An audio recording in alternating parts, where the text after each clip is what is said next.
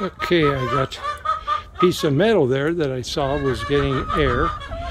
And with winter and the storm coming tomorrow, I wanted to get this chicken coop winterized completely. So I put some rubber down there to stop a draft, some metal left over from the new barn. So I just got to tack that up.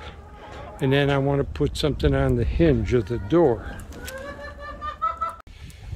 Okay, mission accomplished. I got that buttoned up. Then I made a combination of a hinge and uh, weatherproofing of the door. Put nuclear panels which were left over from the barn. So that worked out good and I shorted up a little bit at the seams. And now they'll get daylight in there but the wind won't be blowing in. And that rubber made a nice seal along the door. And that metal over there got that sealed, so it'll be nice and warm in here for this coming storm that's coming in. They got plenty of feed in both of the feeders. And they're using the egg collector. The heat lamps aren't on because it's not cold enough, but they will be and my little watering system. Water comes out of the tank, goes in those cups, and then when they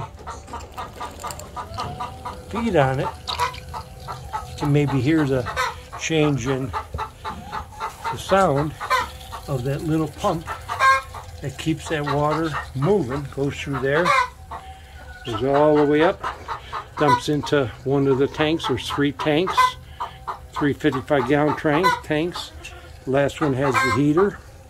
So the motion of the water keeps the water so they'll have plenty of water and light and food. So that's all they need. So that was a good project.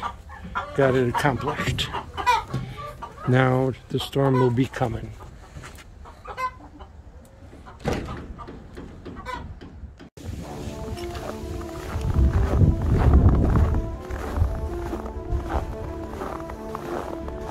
Well, it was so windy. It blew over the um, power for the electric fence, but yeah, boy, no good thing I got that buttoned up. But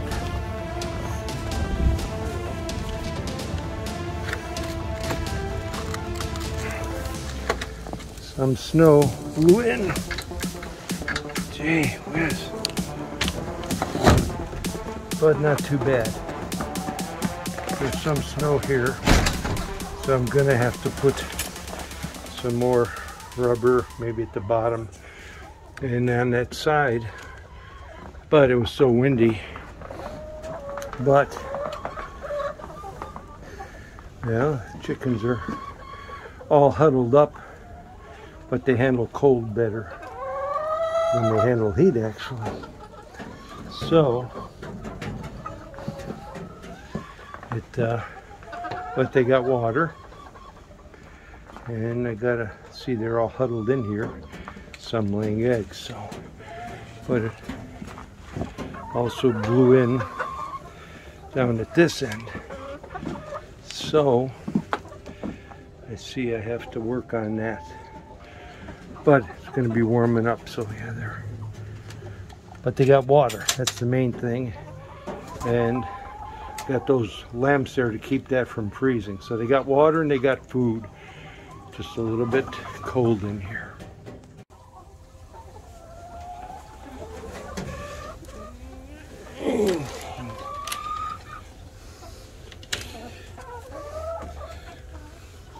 Two, 24, 26, 27. And these aren't frozen yet, so that's good but I gotta go a couple times through the day to get the eggs because yesterday waited a lot of them froze so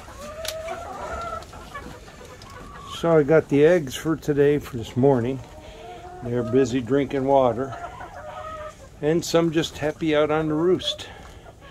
They got ventilation, but you don't want a draft. So down low, it's no draft. It is up through the top, but that's blowing through.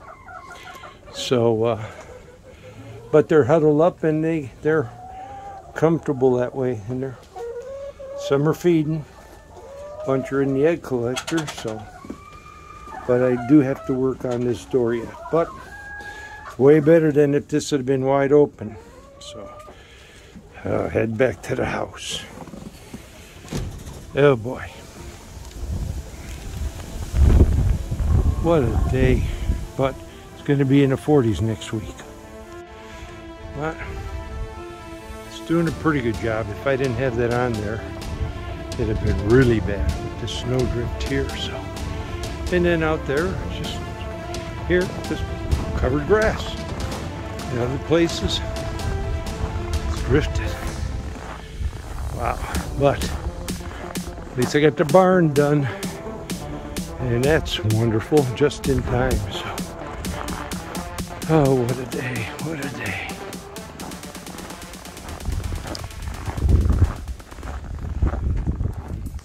For more information on the things we talk about, make sure to check out the website www.kastaway.com.